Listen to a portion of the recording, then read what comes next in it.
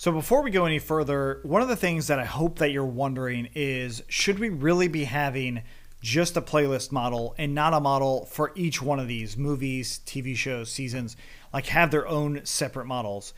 And the reason I'm actually keeping it just as a playlist has to do more with the core of what our project intends to do, which is displaying videos. Realistically, a playlist itself is just a collection of videos.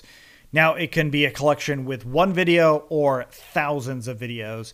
And how we actually make this collection is fairly arbitrary. And so I actually think of movies, TV shows, all of these things as just different labels for this collection or this playlist of videos because the core is about the video itself. It's not about all of these different things.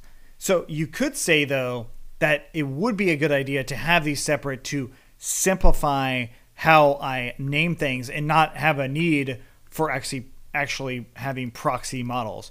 And you could totally do it that way, but I'm not doing it that way for the reason that I want to think of these more in terms of a label and really focus on the videos themselves. Now, this also helps me with analytics down the line of actually tracking which videos are being watched, how much they're being watched, but it also helps me by adding additional types of media. Let's say, for instance, I want to have courses in the future, right? That is another collection of videos. What if I wanted to have a podcast, like video podcast or audio podcast? That is just another type of playlist of media items. Now, the media items, perhaps we would actually want to change this from being called video to being called media, but I'm just going to leave it as video because we're not really going the direction of podcasts and courses. We're really just keeping this in as movies, TV shows, seasons, and feature playlists. So that is kind of the gist as to why I'm naming it this way and not having a bunch of different models uh, that we would end up having. So this also simplifies testing for me as well, because now we just need to verify that this playlist model works as intended, and then the labels work as intended as well. Now I'm actually not going to call these labels. Instead, what I'm going to call them is a type, and we're going to give it a char field, and we'll give it a max length of, well, we only have four different labels that we're probably going to use, uh, but I'm going to give it a max length of three and I want to add in some choices. So yet again, I'm going to be using the choices in a very similar fashion that we did before with the publish model of, you know, the state options, much like this. So you could totally copy this if you want. Um, I'm just going to go ahead and make a new one. And in this case, I'm going to go ahead and say playlist type choices. And this is going to be models dot text choices. Okay, so again, just like what we had over here, now what I'm going to do is say movie equals to MOV, or capital MOV rather, and then comma, and then movie, and then TV show, or let's just call it show. And is going to be TV S and TV show and then season being season or C, and then playlist, just simply a playlist of playlists. And this time I'll just call it PLY and playlist. Okay, so those are my now type choices. And in here, I'll give that in there. And then the default, in my case, I'm to default to being calling this just the playlist itself. So playlist type choices dot playlist. Okay, cool. Um, so one of the things about this that is really nice now, now that I'm going to have this, is I can actually add in my proxy manager. I will be able to use those choices. Um, but what I want to do then, is, since I'm going to be using those choices and I can use it based off of the playlist itself, um, or I could actually just pull out these choices. So it's kind of up to you if you want to just call it um, something like type equals to the playlist dot playlist type choices dot, and this is going to be the first one is our TV show proxy manager, which will be sh- show, and then I'm going to go ahead and add this same thing into my season, and this just being season, which is what we declared it. Okay, so now that we've got those things, let's go ahead and run python manage.py make migrations. And I got a iterable problem. Ah, yes. Okay, so pay, playlist type choices should be dot choices.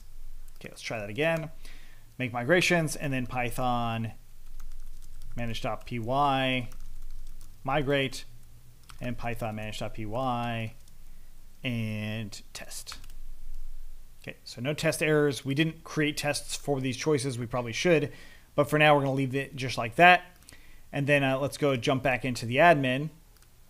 And again, notice the proxy is still the same exact proxy because I overrode the original all method there. Um, and then the playlist admin proxy, we probably want to change this one to being just playlist. So define get query set, and this is going to return playlist.objects.filter, and now the type will be playlist and playlist type choices dot playlist. Okay, so that's just the default that we're going off of.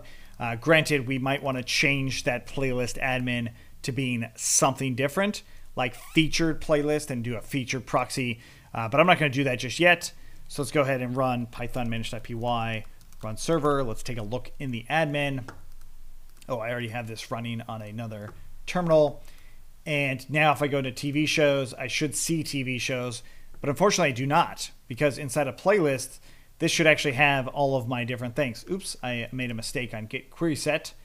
This also takes in request here, which I think I did on the other ones. Yes. Okay, cool.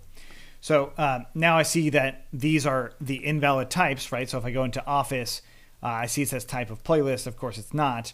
Now it's just type of TV show. And we hit save. Ah, I got another error on this. Um, so no big deal. Come back into our models. And the thing that I don't need to have as required is this parent here.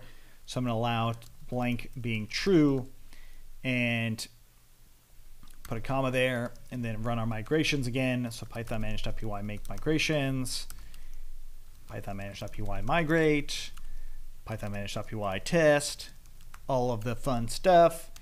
Okay, looking good. Now let's run the server again, press up several times, refresh in here, hit continue. It goes away. Okay, so season two, let's turn that back into being a season.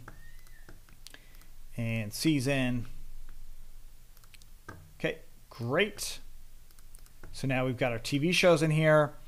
Um, so one of the challenges right here is when I actually go to change this to being season three, um, I'm going to go ahead and hit save. Go back in here. Hey, what do you know? Season three is still showing up here. Um, so uh, part of the reason for that is not based off of the type it is, because if we actually go back into our playlists, I now see season three is in here. This should actually stay in as a different type. Um, so part of this is actually how the admin works, not necessarily how um, we set it up right? It's just really the admin's going to default to various things. What we wanted to do is just override how it's being saved depending on what it is. Um, so that's something that I'll do in the next one. But for now, we've had that discussion of the various types that we should be using uh, and maybe why we wouldn't want to. But more importantly, we actually have these types separated now so that in the admin and also what our users will end up seeing is going to be based off of what these types are.